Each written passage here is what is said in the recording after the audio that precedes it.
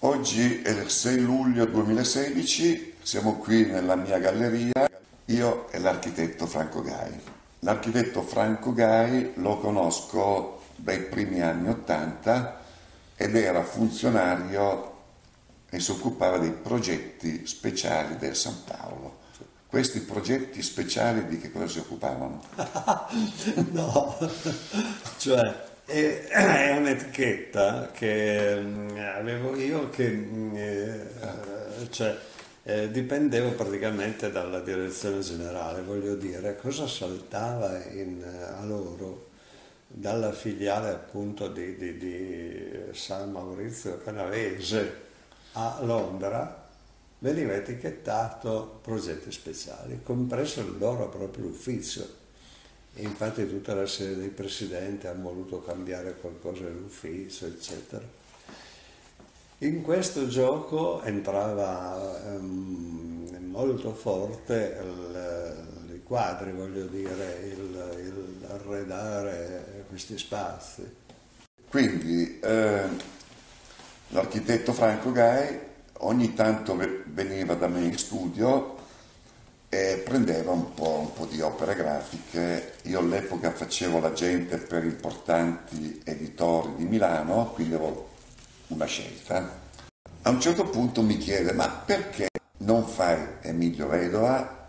E io trasognato, perché diciamo era un nome importantissimo. Dico sì, io potrei anche farlo, ma uh, se vuole Vedova. L'istituto mi garantisce l'acquisizione di un certo numero di copie, lo disse Certo. Anche io prendo il telefono, chiamo lo studio di Vedova a Venezia, mi presento e dico chi sono e Vedova accetta. Allora, Vedova accetta perché in quell'anno si inaugurava il museo di Rivoli e con una mostra di Vedova.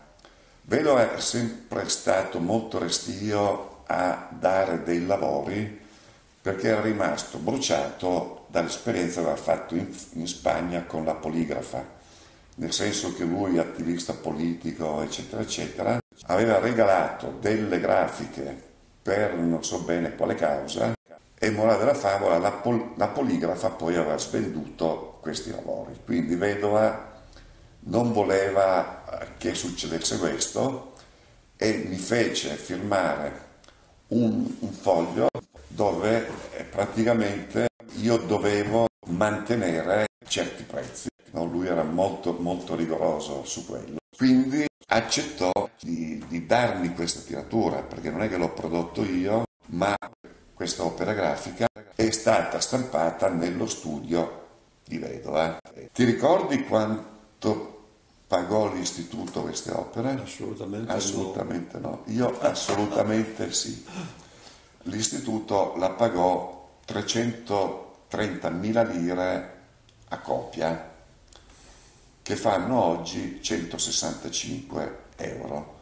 Allora io di queste grafiche ne ho ancora due, di cui una è in vendita, un, un'asta, un portale, eh, e l'hanno messa in vendita a 4.000 euro.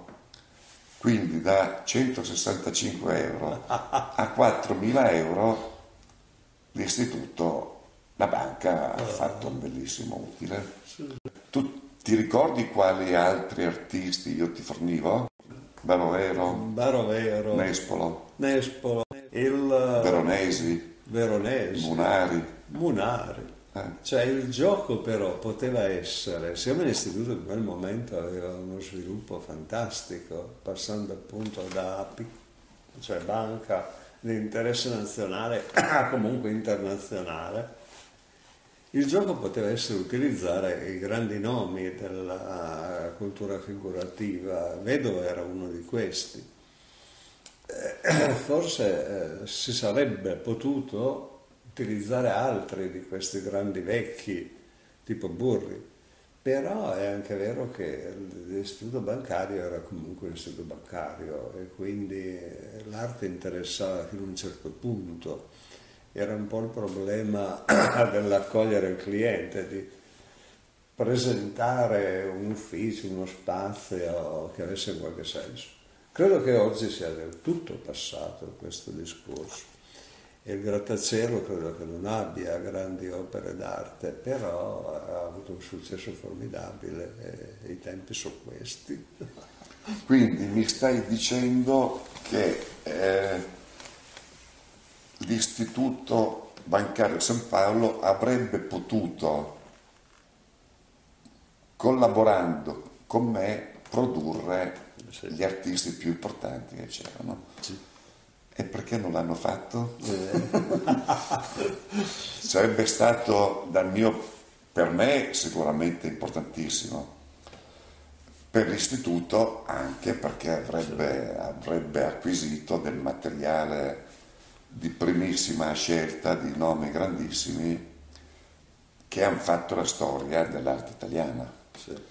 Però sì, sì, è andata così, è, è peccato diciamo che eh, il, occuparsi di un'attività artistica professionale ci va l'impegno di tutti quanti, dove il, l'artista è sicuramente importante, il gallerista è importante, l'editore è importante e il cliente è anche importante, perché a quel punto lì si chiude il cerchio e si può produrre, eh, fare al meglio, ma la, vita è andata così. Io sono già contento di aver prodotto Vedova perché in realtà mi ha aperto le porte presso tutti gli altri artisti che ho contattato dopo, ovvero chi ha prodotto Vedova in Italia e io penso di essere uno dei pochi grande onore. Ecco. Sì, sì, sì, sì, certamente, da Passepartout. Passepartout, che, che non capivano come io avessi potuto produrlo. Però è andata così.